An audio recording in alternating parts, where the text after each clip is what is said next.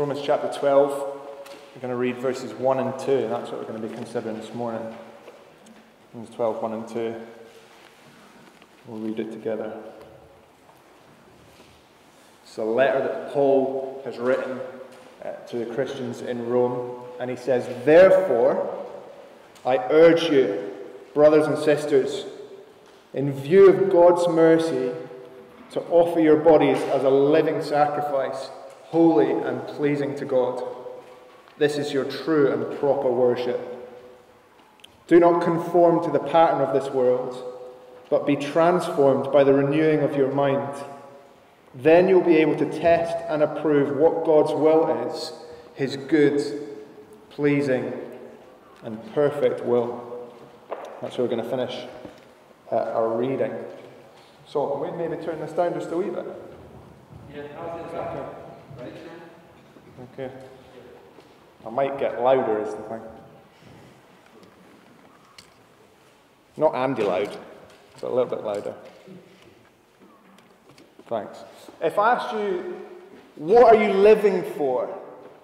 I wonder what your answer would be to that question this morning. I reckon if we went around Gracemount this morning, we'd get a whole bunch of different answers. Some people would say, uh, I'm living for the weekend. Maybe that's been us at times. I think some people would say to us, I'm living for retirement. Some people would say, I'm living for my kids. Some people would say, I'm living for my next fix. Other people would say, I'm just living for the moment. I think for the past few weeks, uh, there's been a bunch of people living for football, taking in every single minute of the Euros, cheering on every goal, uh, probably except before last night for a lot of folk. I was kind of hoping that our baby would arrive so that I'd have a couple of weeks to spend watching uh, the Euros for myself, which sounds daft, but some people really do take time off work so they can sit and watch every minute of every game of these major tournaments. Because it's interesting, isn't it? That you can only really wholeheartedly, totally be devoted to one thing at a time. I got a silly message through on a WhatsApp group the other week uh, that says this. This may be of interest to one of you. A friend of mine has two tickets in a corporate box for England v Scotland. He paid £300 each, but he didn't realise when he bought them that it was going to be the same day as his COVID 19 postponed wedding. If you're interested, he's looking for someone to take his place. It's at Hamilton Registry Office at 2:30 p.m. The bride's name is Moira. She's five foot four, has her own income, and is a really good cook. Now it's tongue in cheek. You get the point. It's one or the other. Complete devotion is either going to look like sacking off the football so you can go and marry the love of your life, or ditching her, painting a saltire on your face, and going and standing in this stadium full of other people watching this board draw. It's one or the other. Jesus spoke about this uh, in a different way with a bit less misogyny. He said, No one can serve two masters. Either you'll love the one and hate the other or you'll be devoted to the one and despise the other. See, we can only really live wholeheartedly for one thing. And what we're going to see this morning in Romans is that in the gospel, God demands that the thing we live for be Him. Wholeheartedly. That we give ourselves entirely to Him. And so the challenge for all of us this morning is going to be this Am I willing to do that? It's a challenge for those of us who are openly living every day for other things. Am I going to be willing to give all of that away and live only for Jesus? Because this Jesus stuff can't just be a tag on to our life as it is.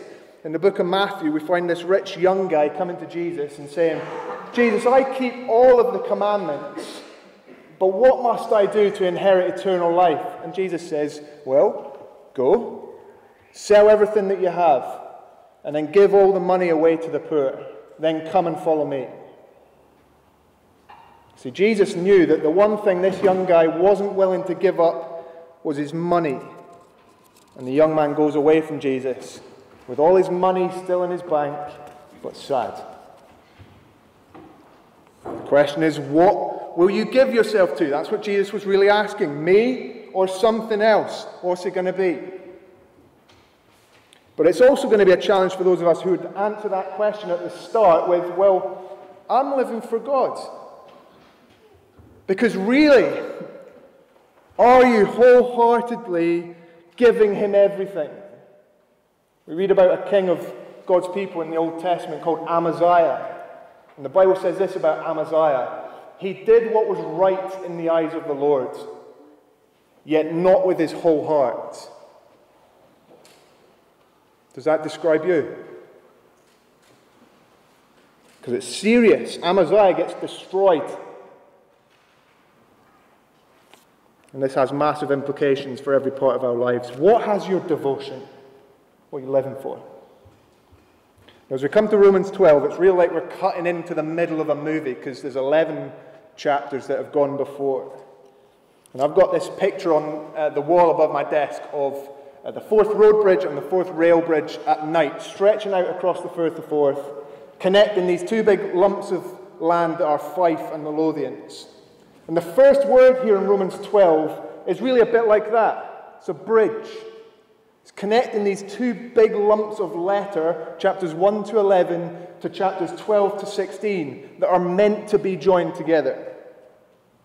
It's therefore, it's going to point us back, and then it's going to demand something of us in light of what we've seen. So here's our first point if you're taking notes.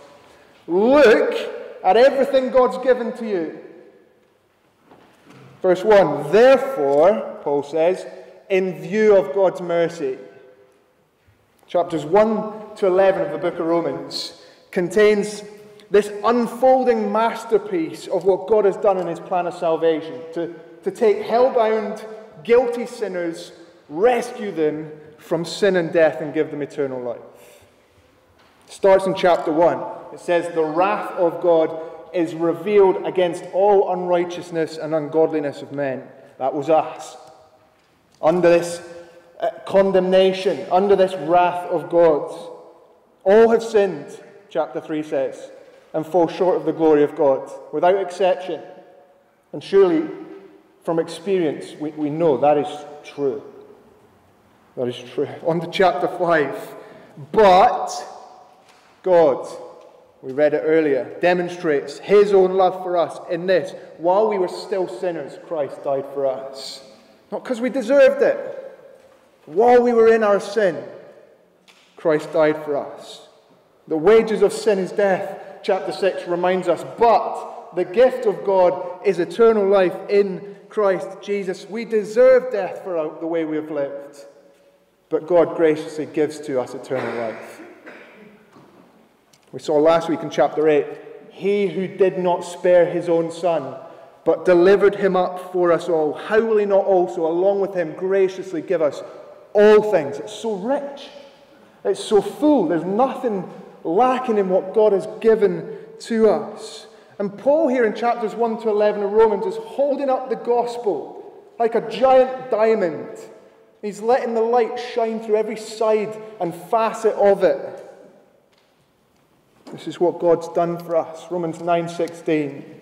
It depends not on human will or exertion, but on God who has mercy. This is Paul's theme in chapters 1 to 11. What God has done for us on our behalf to make us right in his sight. And though now Paul's going to turn his attention to what we must do, the way we must live, the gospel's demands on us, this is always the order of things. So get it straight in our heads. What God has done for us when we were dead in our sin always comes first. Think back to the start of the Bible. God creates the first human beings from dust. Then he gives them a way that they should live. What God does first is give them life.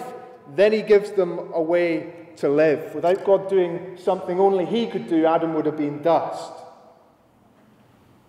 Or think to God's people in the Old Testament when they were slaves in Egypt, completely hopeless, unable to free themselves. Then God rescues them from their slave masters he makes a way through the Red Sea. He delivers them from the pursuing Egyptians. Only then do they come to Mount Sinai where he gives them a way they should live in the Ten Commandments. It's always that way. It's always been the same. God gives freedom and life, then He gives us a way we should live. God does something for us in His mercy. He gives us eternal life when we only deserve death. Everything we have is given to us in mercy. That's chapters 1 to 11. Therefore, chapter 12. And this is our second heading. Therefore, it's only proper for us to give everything to Him. Look at again verse 1. Therefore, I urge you, brothers and sisters, in view of God's mercy, to offer your bodies as a living sacrifice, holy and pleasing to God. This is your true and proper worship. This is the proper response to chapters 1 to 11. In view of masses of mercy, this is the only reasonable action for us to take. Paul's saying, Look at everything God's given to you. Stare at it. Fix your eyes on it. Now it is only reasonable you give everything to Him. It's not just a suggestion, this is an essential response. This is right. We can feel this is right. What we've seen in these 11 chapters of mind blowing mercy has got to change the way we live. I'm sure some of you have seen uh, on the news this week the story of our former health secretary's extramarital affair with one of his aides. It's not right for us to revel in what happened there. But surely one of the things that ought to make us deeply uncomfortable about the whole thing, COVID completely aside, is the way that he's dealt with his wife. Listen to what he said uh, only a year or so ago. Martha, that's his wife, has borne the brunt of it. Thank God Martha is totally wonderful in looking after the children and looking after me, and it's really tough. Now, to repay that with an affair we surely know and sense deep down is just so wrong. She's given everything. He should have been completely devoted to him. That's how ugly it is when we look at the mercy God has poured out on us and then choose to live for ourselves instead of for Him. In view of His mercy, come on. We've got to do this. As we look at the mercy God has shown to us, we've got to give Him everything. Look more closely at this. If you're taking notes, here's some subpoints, okay? Subpoint one. We must offer every part of us.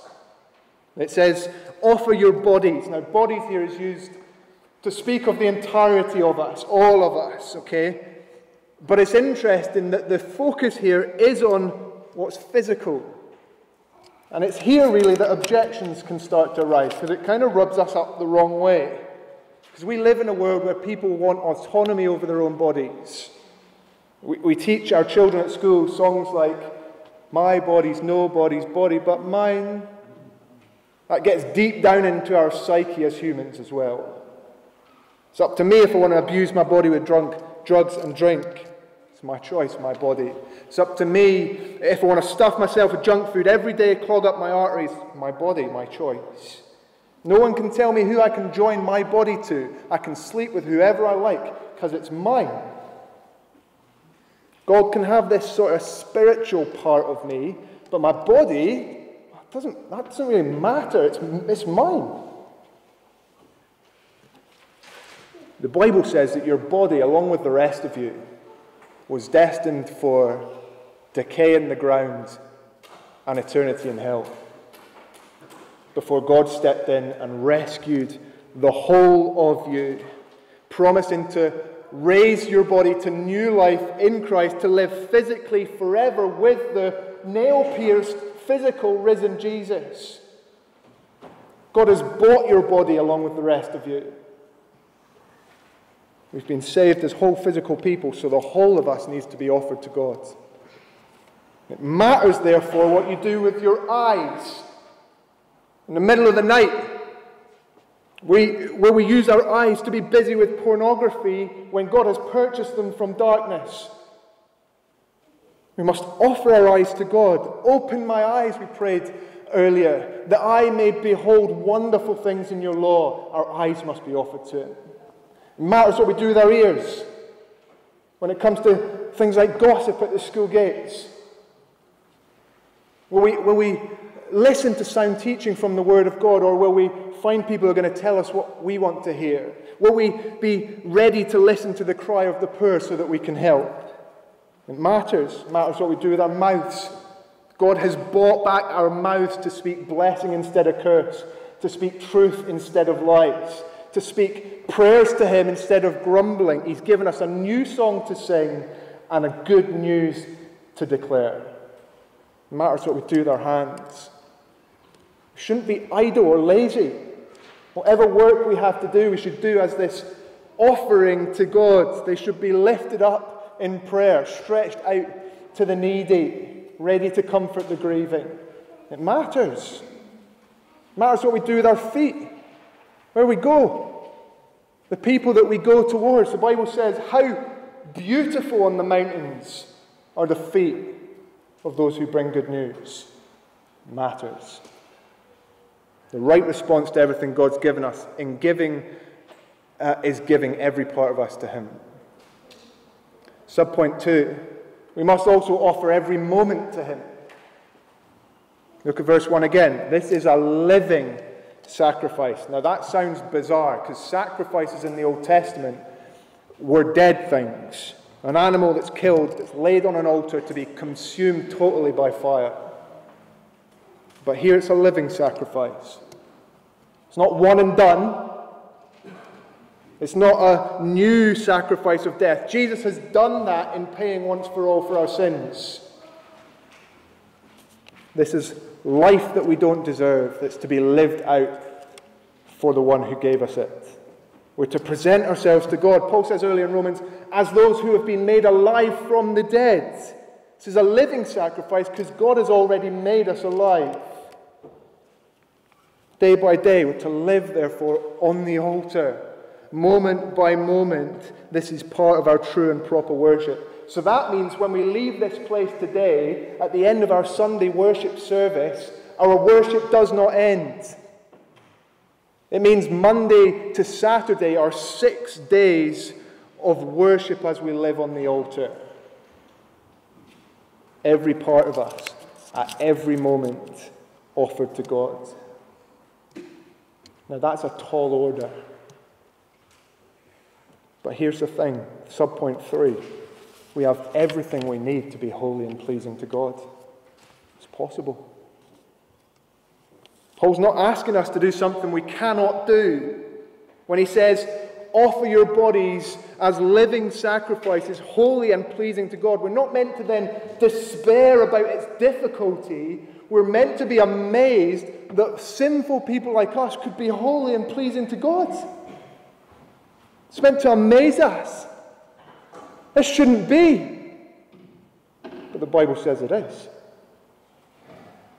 None is righteous, no, not one. No one does good, not even one. That's what it says in chapter 3. But God, in His mercy, makes us holy in His sight and gives us the power of His Spirit to live in a way that is holy and pleasing to Him. Don't you want that? We can please our Maker who has saved us from sin's guilt and power. We have everything we need to do it because He gave it to us. Last subpoint this is just a no brainer. That's not a lead into my subpoint, that's the subpoint. It just makes sense. It's right. On the basis of chapter 1 to 11, there's just no arguing that this is right. Chapter 12, verse 1 is heavy on demand. It is. I don't argue with you there. But there's just no denying that on the basis of God's mercy, this is entirely reasonable. So the question really is do you believe chapters 1 to 11? Do you believe God's mercy that we were hopelessly sinful, but God saved us by the blood of Jesus? If you're new to church and you're just getting to know what the Bible has to say about the gospel, you've got to make a decision. Do you believe that what it claims is true? If you've grown up in church, you've heard this a million times. Do you believe for yourself that this is true? Is it good news or not? If you've been a Christian for years and years and years and you just don't doubt the truth of what God has set, said about what He's done for us in chapters 1 to 11, then are you living in a way that gives everything to Him? Because if you believe what God's done for us, the only reasonable thing for us to do is to offer our bodies a living sacrifice to Him. Don't live like the ugliness of an ungrateful, adulterous spouse. And if you don't believe this message this morning, then live for yourself. Eat, drink, be merry, for tomorrow you may die. But know this freedom from the mastery of God does not make you in control. The Bible says you aren't free, you're a slave to your sin. And you've experienced that that is true. Even if you wanted to live a holy life, you can't. You will go back to your sin again and again and again to things that are harmful, to things that bring despair. And you can serve only one master. Sin will rule in your life, bringing you only hardship and judgment. Or you can be purchased by God who, as you live for Him, will work everything together for your good. It's one or the other. I know which master I have chosen to live for. But we've got to pause here. Because our experience speaks of something other than all of us, every minute, being given as a holy sacrifice to God. How many of us could honestly say, yep, that's the way I live? every minute of every day, every part of me. And that's where this passage gets really realistic as we head into verse 2. Because point 3, there's competition for your everything. The, body doesn't shy, the Bible doesn't shy away from that. Paul says, Do not conform to the pattern of this world. When we become Christians, we don't then go around floating in the air dressed in white like some sort of new perfect creature. I think that's clear when you look at me. It's not what happens. We're still here in the world, still here where we were before. We have been changed. God has done something. He's made us right in His sight. And He has called us to a life of holiness and sacrifice to Him. But the world around us can still seem so alluring, can't it? It can still look so good. And it will compete for every part of us. The picture here is of, of wet clay being squeezed into a mold, into a shape, so that we look like the world, sound no different, speak no different, think no different. There's loads of molds that the world would compete to squeeze us into. It might be the mold of money, living life to move on, uh, up and out, earning more and more and giving less and less could be the mold of bitterness and anger. Never grateful for what we have, consumed with what people have done to us, and consumed with what people have never done for us. Maybe it's the mold of pleasure, feeling good, chasing that high, willing to do whatever it takes to get that next feeling, the next high, the next binge, the next purchase online. Could be the mode of obsessive productivity, it could be pride, it could be selfishness. It could be the mode of hopeless despair. We know, don't we? There's all number of things that are wrong, that look like the world, but that the world would love to squeeze us into the shape of. But as Christians in the world, we aren't to fit into its mold. Instead, fourthly, there's a way for you to be transformed in your everything. Look at verse 2 but be transformed by the renewing of your mind. When Jesus left to go to heaven, he left his followers in the world with the purpose of looking different. Listen to what we were before, the, before God stepped in and saved us. Romans 1. We exchanged the truth about God for a lie and worshipped and served the creature rather than the Creator. And since we didn't see fit to acknowledge God, God gave us up to a debased mind. But in the gospel, we find there's a way for that to be reversed, transformed. Foolish worship is replaced with true and proper worship. A debased, corrupt mind is renewed. And it's through this renewing of our minds, Paul says, that we are gradually transformed. In Luke chapter 9, we find Jesus going up on a mountain with some of his disciples, and they see him transfigured before them, shining white. They got a glimpse into his glory. And that's what we're to be in the world. The language is the same. We're not to fit into the mold of this world. We're to look like Jesus and radiate his glory. That's the calling on our lives as Christians. And why does that happen? Through the renewing of our minds. Well, think back to Romans 8 last week. The way we think about God changes the way we live. A new way of thinking changes our conduct. And bit by bit, daily being renewed as we think on the mercy of God as shown to us in the person and work of Jesus Christ, we will be transformed.